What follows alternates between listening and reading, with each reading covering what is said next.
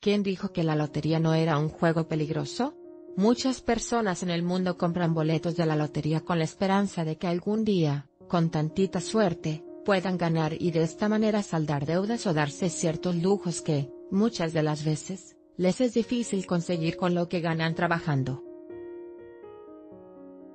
Sin embargo, para un hombre en Tailandia fue más que solo eso, llegó a tal grado de desesperación que al darse cuenta que su boleto no había resultado ganador se le hizo fácil deslindarse de todo problema económico con ayuda del fuego.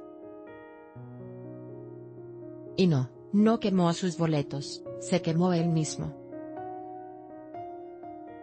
Mediante un video difundido en la red se puede observar que el hombre llega a las 5 de la mañana, y se acerca a un edificio al que se ha confirmado como Wat Sutawat, un templo budista de Pattaya, con un galón de gasolina. En ese momento nadie se imaginó lo que el hombre traía entre manos. Luego de un tiempo el sujeto se dirige detrás del templo, y por estar fuera del alcance de la cámara de seguridad, solamente se logra percibir un gran destello. Te puede interesar, tras filtrar macabro relato de descuartizador en Ecatepec, podría quedar libre.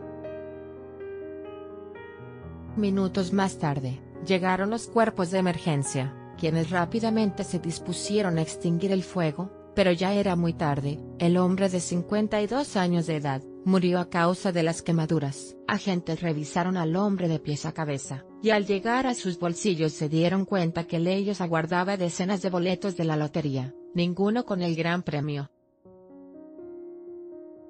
Medios locales afirman el sujeto se había endeudado con el banco para hacer la compra de estas esperanzas de ganar. Este es el video del incidente que ha circulado en redes.